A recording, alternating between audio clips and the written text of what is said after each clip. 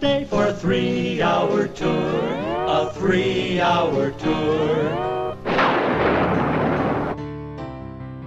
Welcome to the CannaBus Express Tours. Thank you for observing the ironic non smoking policy, and please have your proof of age readily available.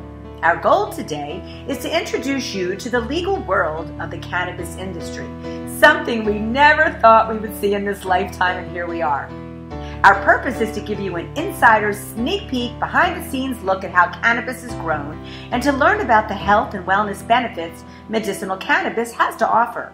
We are taking you from the root, a grow cultivating facility, to a manufacturing bakery, a few different types of dispensaries, and then, if desired, to the toot, a lounge.